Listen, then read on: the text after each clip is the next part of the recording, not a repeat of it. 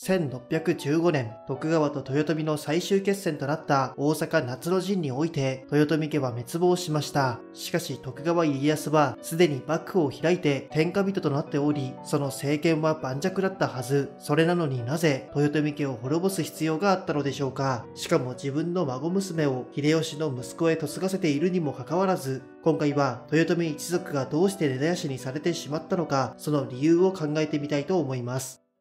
豊臣家がいつまで経っても心中しなかったから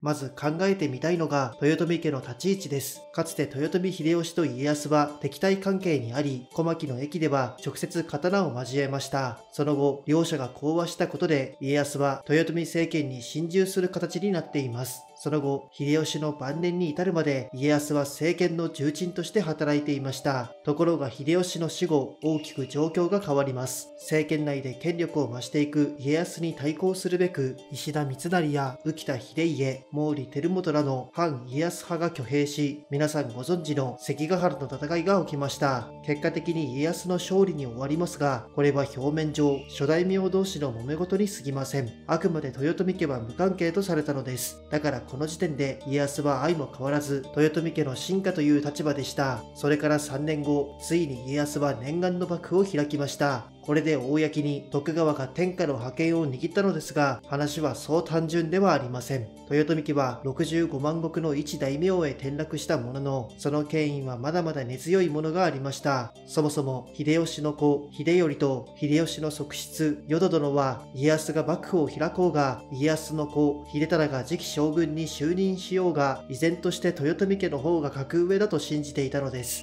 そこで家康は、秀頼と対面の機会を設けて、豊臣家の立ち位置を改めて認識させようとしました。これが1611年の春に行われた二条城の会見です。淀殿はこの会見に反対しますが、仮にも家康は秀頼の岐阜にあたります。これを断るのはむしろ失礼にあたるでしょう。こうして両者は会見に臨みますが、事前に家康は手回しをしていました。実は秀頼の上洛に際して諸大名らに出迎えを禁じたのです。これには秀頼に従う大名などいないと自覚させる意味がありました。また、あえて秀頼に対して上座に座ることで立場の違いを明確にしています。そして家康は次の一手を打ちました。二条城の会見の直後、西国の大名80名余りに対し、徳川家に侵入するという誓約書を提出させます。この中に豊臣家は含まれておらず、心理的効果を狙った節があります。つまり、秀頼に味方する大名がいないことを示した上で、もはや豊臣家の時代ではないことを天下へ知らしめたんです。ただし、そこまで布石を打っても、秀頼と淀殿はピンと来ていなかったようです。愛も変わらず、自分たちは別格だと信じ、いずれ政権が返上されることを夢見ていました。こうなると、家康も強引な手段を取らざるを得ません。それが宝光寺証明事件です。家康は、秀頼が再建させた寺の鐘に掘られた国家安康、君臣崩落という名文に対し、これは自分のことを呪うものだと言いがかりをつけ、豊臣側にこんな条件を突きつけました。秀頼を江戸に参勤させる、淀殿を人質として江戸に置く、秀頼が国替えに応じ大阪城を退去する、この中のどれか一つを選ばせ、答えによっては討伐も辞さない態度を明確にしたのです。しかし豊臣家は堅くなでした。どの条件も飲むことなく、大阪冬の陣へと突き進んでしまうのです。そして和睦を経てから大阪夏の陣が始まる直前、家康はラストチャンスを秀頼に与えました。大阪城にいる浪人たちを解雇するか、それとも秀頼が大阪城を出るか。しかし、秀頼と淀殿の返答は否。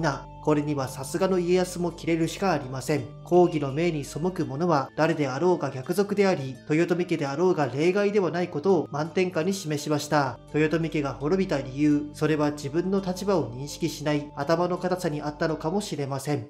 朝廷を統制するのに豊臣家が邪魔だった？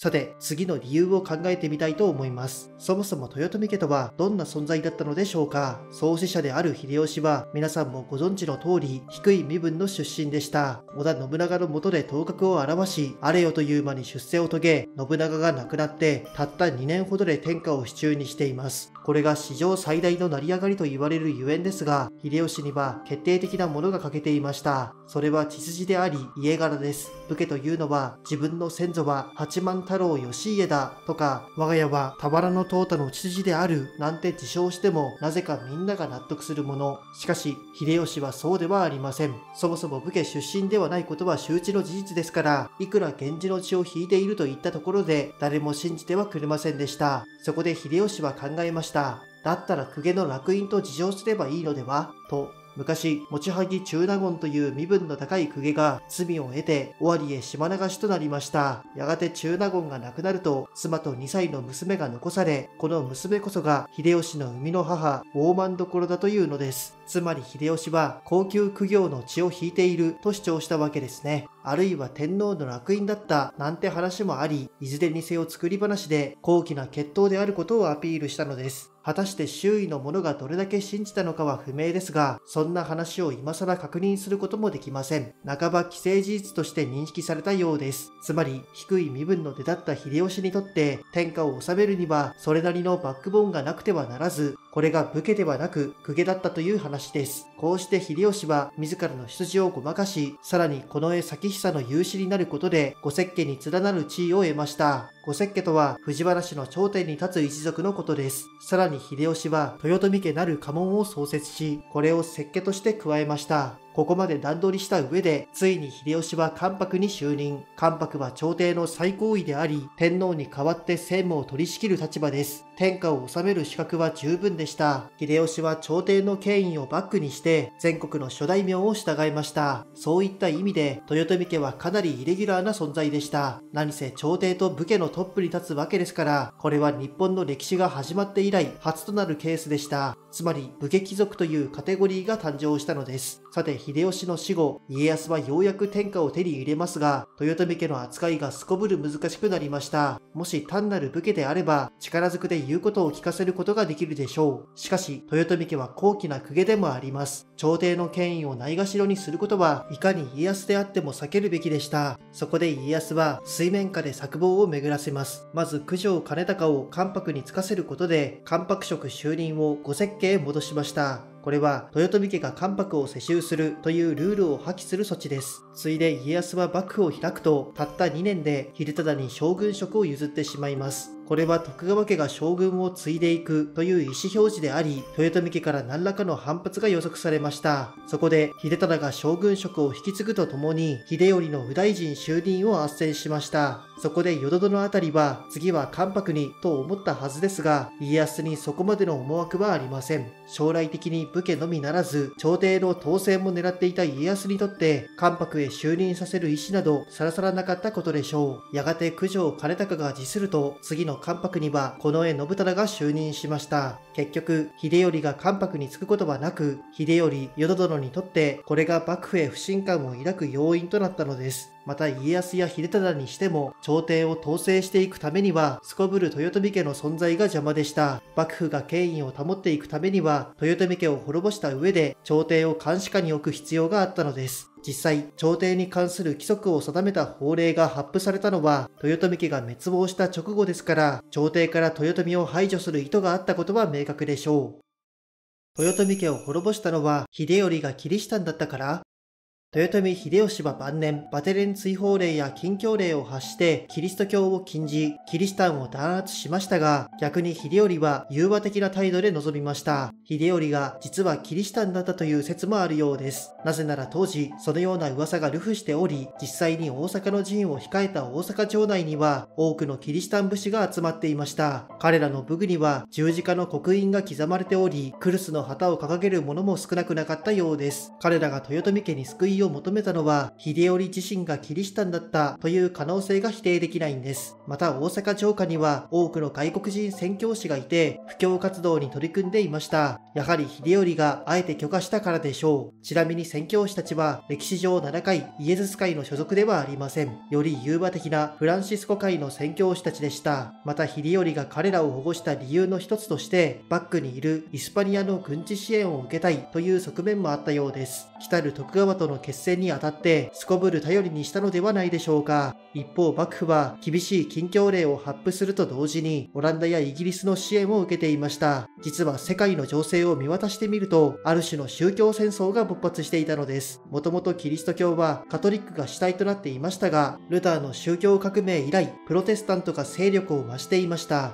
つまりカトリックのイスパニアに対しプロテスタントを信奉するオランダ、イギリスが世界の覇権をめぐって争っていたのです。そんなオランダはイスパニアに対抗するべくいち早く徳川家へ接近しました。つまり、布教をするつもりはさらさらなく、自分たちは日本と貿易がしたいだけだ、と家康に吹き込んだのです。宗教の恐ろしさを知っている家康は納得します。禁教令を破らなければそれでいい、と判断し、積極的に貿易を推し進めました。家康のこの行動には二つの理由があります。まず、ヨーロッパの優れた武器を手に入れて、軍事的イニシアティブを手に入れること、そしてイスパニアの支援を受ける豊臣家に対抗することです。日本で爆発的にキリシタンが増えたのは、元はといえば、イスパニアの宣教師たちが布教活動を続けたからです。この機会に叩く必要があったのでしょう。やがて大阪の陣が始まりますが、これにはイスパニア対オランダという代理戦争の側面があります。結果的に幕府軍の勝利に終わったことで、豊臣家とイスパニアは共に日本から排除されました。このような幕府のスタンスは後年になっても続き、三代将軍徳川家光の頃に交易を求めて長崎へやってきたイスパニア戦を問答無用で撃沈しています。イスパニアの脅威から日本を守るためには、キリシタン、秀頼はじめ、豊臣家を滅ぼすしかなかったのかもしれません。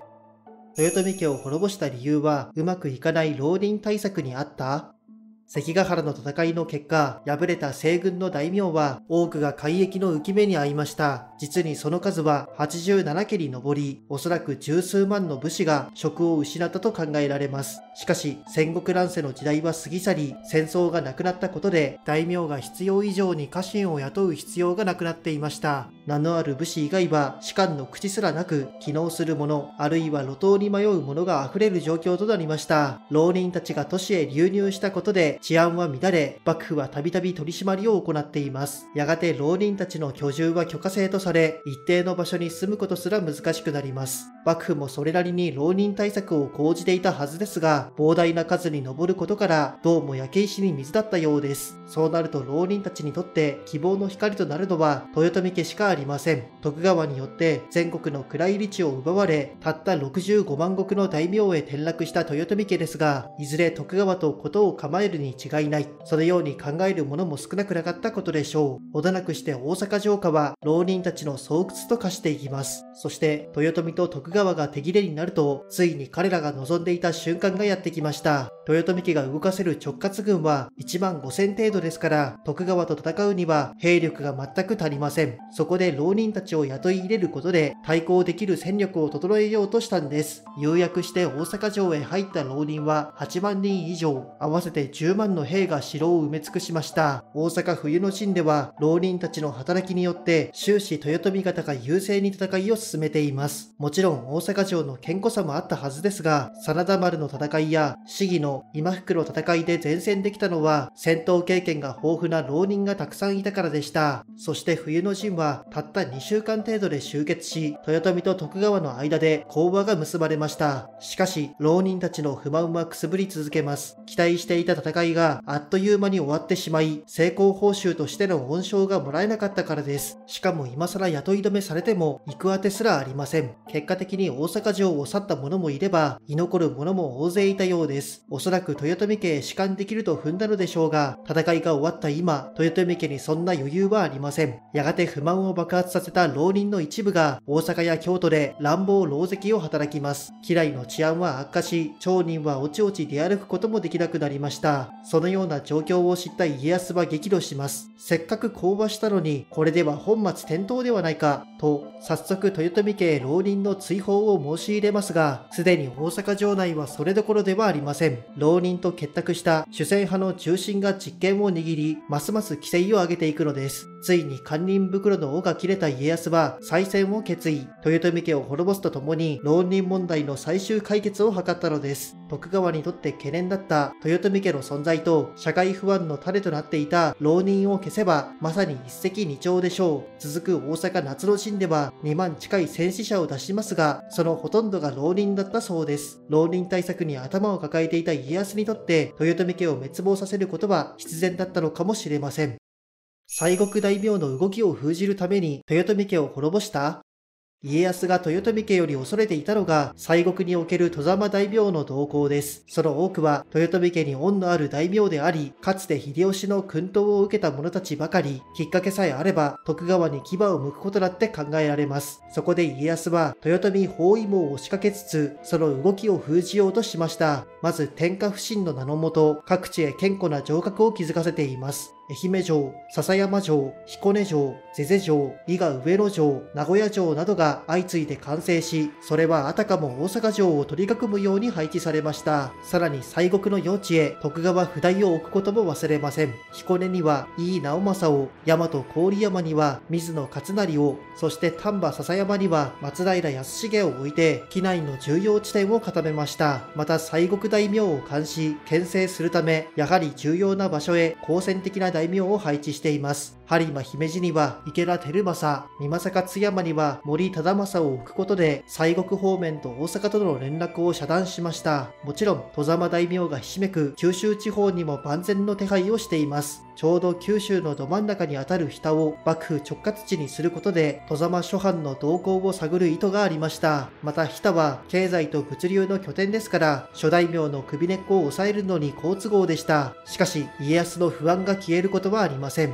これだけ監視を強化していても、西国の大名が謀反に及ぶリスクはつきまとっています。もしそうなれば、豊臣家を担ぎ出すのは当然のこと。結局、そんな不安を打ち消すには元を立つしかありません。つまり、豊臣家そのものを消し去ることで、反乱の可能性を潰しておくべきだったのです。そして家康にとって、その試金石となったのが大阪の陣でした。秀頼がどれだけ呼びかけても、豊臣家に味方する大名はおらず、その結果に満足した家康は、安心して豊臣家を滅ぼすことができたのです。そもそも家康は本気で豊臣家を滅ぼすつもりだったのか、それはあの世の家康に聞いてみるしかありません。しかし最近の歴史研究によれば、できれば名家として豊臣家を存続させたかったのでは、そんな説が有力になっているそうです。いずれにせよ、関ヶ原の戦いの後、豊臣と徳川の立場は逆転しており、その認識が甘かったゆえに、豊臣家は滅亡するしかなかったのでしょう。もし秀頼が万難を排して徳川に侵襲していれば、豊臣家はずっと存続できたかもしれませんれませんね。今回の内容は以上です。いつもご視聴いただきありがとうございます。よかったら高評価やチャンネル登録で応援のほどよろしくお願いします。それでは良い一日を。